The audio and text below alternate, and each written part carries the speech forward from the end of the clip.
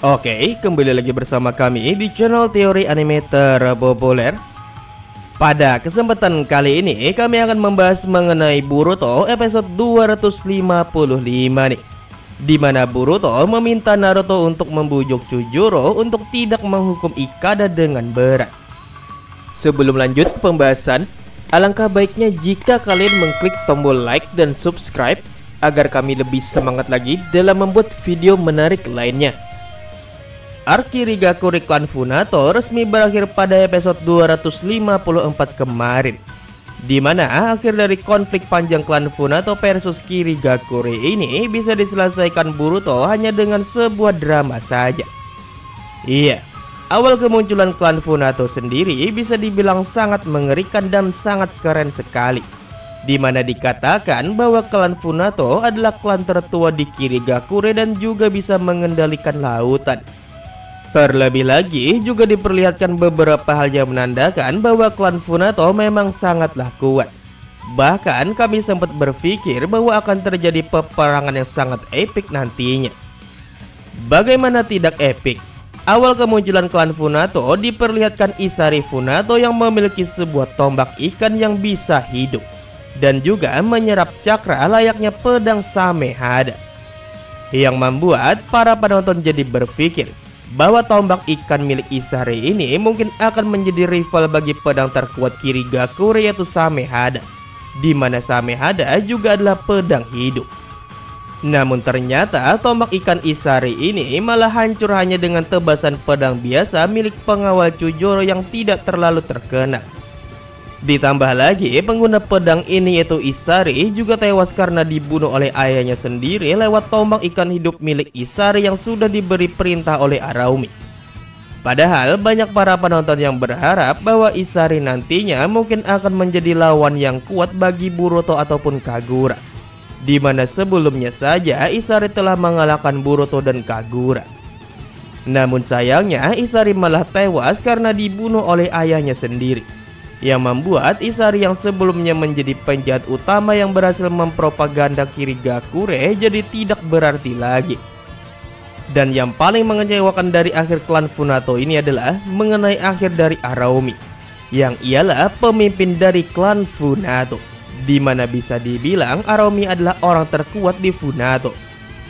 Awal kemunculan Araumi diperlihatkan sangat mengerikan di mana Araumi dikurung di dalam sebuah penjara khusus yang tidak ada air di dalamnya. Karena jika Araumi mendapatkan air, dia akan bisa kabur dan melarikan diri. Yang membuat Araumi sengaja dibuat menjadi kering dan uniknya dia bisa bertahan dalam kondisi ini. Selain itu pun juga dikatakan bahwa dulu Kirigakure dan negara air juga bersusah payah agar bisa menangkap Araumi Bahkan Chujuro pun juga habis-habisan dalam melawan Araumi. Namun, semua hal mengenai kengerian dari Araumi dan betapa kuatnya dia jadi lenyap setelah melihat akhir dari Araumi ini. Di mana Araumi tewas hanya dengan satu tebasan kawaki saja tanpa adanya perlawanan. Padahal sebelumnya saja Kawaki bisa dibilang tidak berkutik melawan Funamushi yang ialah hanya anak buah Araumi saja dan kalahnya Funamushi pun karena kerjasama Boruto dan kawan-kawan. Jadi bisa dibilang walaupun Araumi sangat kuat dan lebih kuat daripada Funamushi yang pernah mempercundangi Boruto dan Kawaki, Araumi tidak sempat bertarung di dalam arc Funato ini. Dan yang terakhir ada Ikada anak Araumi yang dikatakan adalah Funato terkuat karena memiliki kekuatan legenda naga air yang bisa mengendalikan lautan. Ya walaupun Ikada sempat memperlihatkan beberapa kekuatannya yang memang dahsyat di mana Ikada bisa mengendalikan lautan sesukanya dan membuat naga air. Namun sayangnya dengan kekuatan sebesar itu, Ikada tidak diperlihatkan bertarung sedikit pun dan langsung mengakhiri peperangan karena ceramah no jutsu dari Boruto saja. Ya walaupun kalau dilihat-lihat Ikada memang tidak memiliki bakat sebagai seorang petarung karena dulunya dia adalah Funato terlemah, makanya dia melarikan diri dari Funato. Nah selanjutnya kami akan membahas mengenai Boruto episode 255 nih Di mana setelah sekian lama anime Boruto berfokus pada Boruto yang ada di Kirigakure Akhirnya Pak Kades kita akan muncul lagi Dan untuk bocoran Boruto episode 255 sendiri berbunyi seperti ini Setelah menyelesaikan perselisihan dan pemberontakan antara negara air dan bajak laut Boruto dan rekan satu timnya mulai kembali ke desa Konohagakure namun, Boruto menjadi cemas dan khawatir dengan apa yang akan terjadi pada Ikada. Karena rekan Kagura yaitu Buntan dan rekan-rekan mereka sudah dibebaskan. Namun nasib Ikada belum diputuskan bagaimana. Meskipun Ikada bekerja sama dengan bajak laut Funato untuk memusuhi Kirigakure, Boruto ingin agar Ikada ditangani dengan cara yang sangat baik.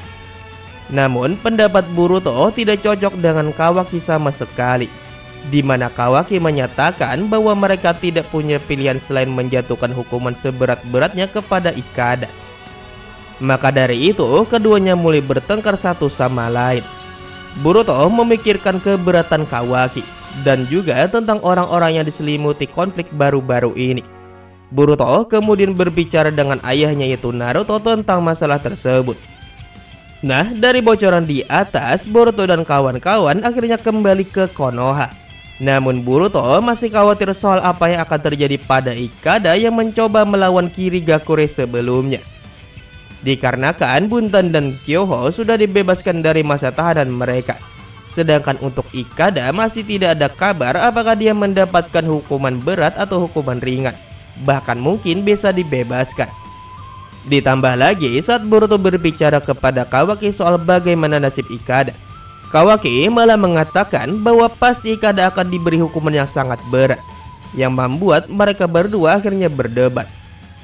Tidak bisa tenang soal nasib Ikada, akhirnya Boruto mendatangi ayahnya dan meminta bantuan ayahnya yang adalah seorang Hokage untuk meminta kepada Mizukage yaitu Chujuro agar Ikada tidak dihukum. Karena saat bergabung dengan klan Funato, Ikada tidak pernah menyerang Kirigakure sedikit pun. Bahkan karena Ikada inilah perang akhirnya bisa berakhir. Dan sepertinya Naruto akan menghubungi Chujuro dan menanyakan soal Ikada.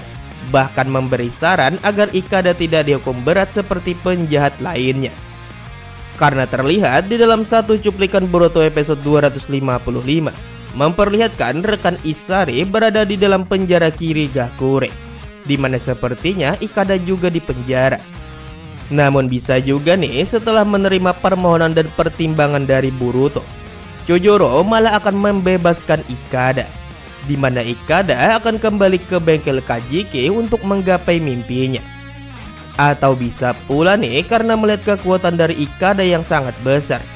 Ikada malah dijadikan Chujuro sebagai pengawalnya sekaligus anak didik menggantikan posisi dari Kagura di mana bisa dibilang Ikada akan dijadikan Chujuro sebagai calon Mizukage selanjutnya. Karena Ikada memiliki kekuatan yang bisa dibilang setingkat dengan Kage. Makanya sangat sayang sekali kekuatan sebesar Ikada tidak digunakan dengan benar dan hanya membiarkan Ikada menjadi tukang kapal. Padahal jika Ikada diberi pelatihan yang sangat hebat dan langsung di bawah dari Mizukage, bisa saja Ikada akan menjadi sosok shinobi kuat dan menjadi seorang Mizukage. Di mana Ikada juga berpotensi menggunakan pedang terkuat Kiriga Korea saat ini yaitu Samehada. Di mana pedang ini tidak ada yang menggunakannya. Dan itulah pembahasan kami nih mengenai bocoran Boruto episode 255 di mana pada episode 255 nanti si Boruto ini akan meminta kepada ayahnya agar ayahnya ini mau uh, memberi saran ataupun memohon kepada Chujuro yaitu Mizukage ke-6 agar Ikada nantinya hukumannya tidak berat atau mungkin uh, bisa dibebaskan. Karena menurut Boruto, Ikada sendiri selama uh, dia menjadi seorang Funato yang di mana dia itu adalah seorang yang memimpin klan Funato saat menyerang Shinonami 1 Ikada itu uh, tidak melakukan apa-apa ataupun penyerangan terhadap Kirigakure Shinonami itu. Bahkan karena Ikada inilah akhirnya perang antara Kirigakure dan juga klan Funato akhirnya bisa berakhir. Jadi bagaimana menurut kalian guys? Kira-kira eh, apakah hukuman apa yang akan diterima oleh Ikada? Apakah dia akan bebas ataukah akan di penjara seperti ayahnya itu Aromi dulu? Ataukah mungkin si Kada ini malah akan dilatih oleh Chojuro untuk menjadi Mizukage selanjutnya? Karena kandidat uh, Mizukage uh, selanjutnya itu adalah Kagura Karatachi itu sudah meninggal yang bisa saja akan digantikan oleh Ikada. Jadi bagaimana menurut kalian? Tulis jawaban kalian di kolom komentar di bawah ya. Eh, terima kasih telah menonton. Sampai bertemu kembali di video selanjutnya. Bye bye.